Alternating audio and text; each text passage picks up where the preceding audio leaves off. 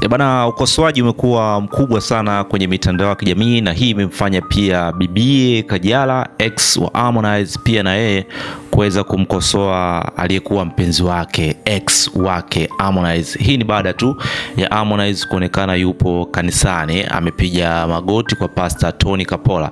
So ni kitu gani ambacho Kajala amezungumza kuhusiana na hilo tukio ambalo amelifanya Harmonize? So endelea kuwa nami hapo uone ni kitu gani ambacho nitakusanua, na bado tuko na Kajala tunapiga naye story, na pia Kajala kwa upande wake atafunguka ni kwa namna gani ambavyo yeye amemchukulia Harmonize kwenda kanisani. Na fahamu tu kwa mara ya kwanza Harmonize anapelekwa kanisani na ikawa public na watu wengi tukaweza kumshuhudia kwamba kijana wa Shehe Rajabu anaingia kanisani ni pale alipokuwa na bibie Kajala. So Kajala ni mtu wa ibada sana, mara nyingi tulikuwa namuona yuko kanisani na alipokuwa kuna mahusiano na Harmonize, pia Harmonize tukaanza kumwona pia na yeye anaenda kanisani. This time sijui ni kitu gani ambacho kimemkuta Harmonize, ameonekana yupo kanisani, amepiga magoti, anaombewa na Pastor Kapola. Sasa tumemtafuta Kajala tuweze kupiga naye story, atuambie e, ana mtazamo gani baada ya kumwona e, aliyekuwa mpenzi wake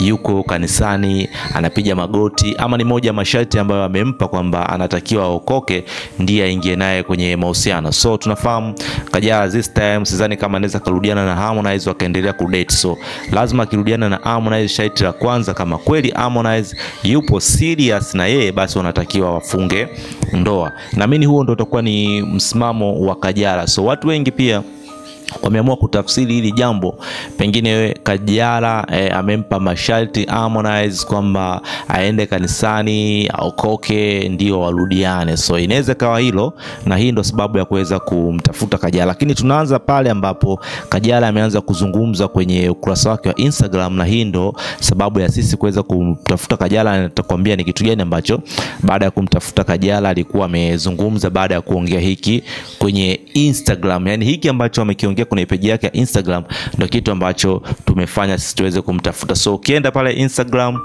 post yake ya kwanza na ile post yake ya mwisho ambayo ameiweka kwenye Insta story, hii inazilisha kitu chote ambacho Kajala eh, amemwambia ama kina, kinazilisha kwamba kwa namna moja ama nyingine kuna masharti ambayo amempa Harmonize na mashabiki wameweza kuona hivyo. So post ya Kajala imekuwa ikijieleza na ime, iko wazi kabisa, anakwambia kwamba kwa saizi siwezi kudeti na mtu ambaye aamini katika Yesu Kristo. So tunaamini Wakristo wa wengi wanaamini katika Yesu na tunaamini sasa, Waislamu wengi pia wanaamini katika Mtume Muhammad kwamba ndo mtume wa mwisho ambaye alikuwa ametumwa na Mwenyezi Mungu. Ukiwa Muislamu lazima umwamini Mtume Muhammad na uamini kwamba yeye ndiye mtume wa Mwenyezi Mungu, mtume wake wa mwisho. So kwa upande wa Kristo tunaamini ndani ya Jesus ndo kuna kila kitu ambacho kinatendeka. Ni Jesus akiwa ndani yako ni kila kitu ambacho kinatendeka. So this time Kajala anakuambia kwamba mwanaume ambaye nitadate naye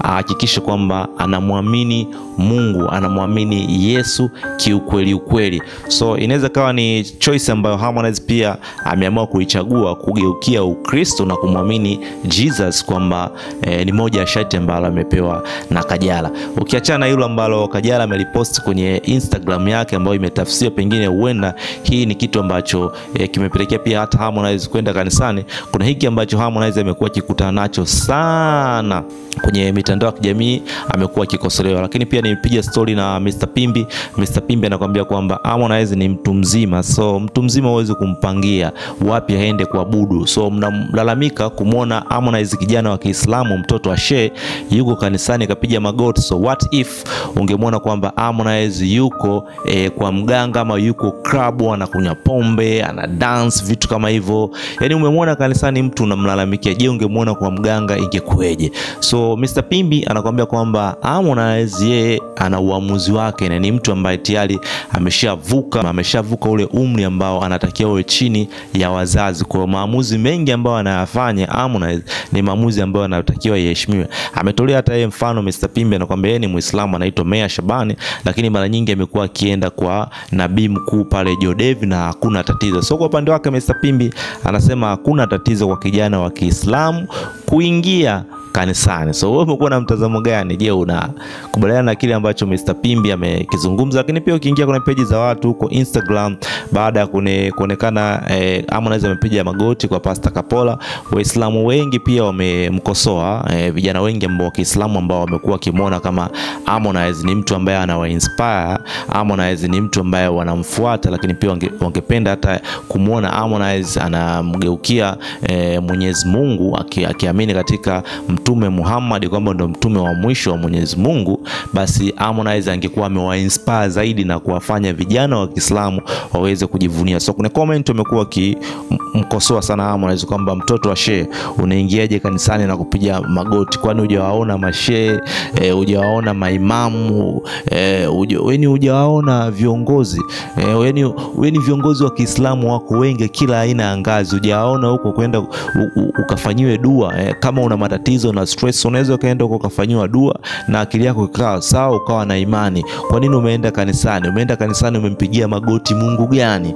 E, kwa maswali yamekuwa ni mengi sana ambayo wamekuwa wakimkosoa Harmonize kwenye mitandao ya kijamii, lakini pia hata kwa upande wako wewe unaweza kaweka comment, una comment gani kuhusiana na hiki ambacho Harmonize amekifanya, lakini kulingana na hiki ambacho pia Kajala amekizungumza kwamba mwanaume ambaye anamtaka this time kudate naye ni mwanaume ambaye aamini katika Mungu, awe na Yesu ndani yake. So ndio maana Harmonize ameenda eh, kanisani na kupiga magoti na kuombea. Je, anataka arudi upa, aje upande wa pili, upande wa Kristo, naamini kwamba Jesus awe ndani yake, amwamini Mungu ambaye anamwamini Kajala. Swali ni maswali ambayo yamekuwa kizungumziwa sana huko kwenye mitandao ya kijamii. Umekuwa na mtazamo gani? Shukrani comment section, drop comment yako. Je, unakubaliana na hiki ambacho watu wanatafsiri kwamba ujumbe wa Kajala ndio ambao umemfanya Harmonize aende kanisani? So umekuwa na mtazamo gani? Shukrani comment section, drop comment yako.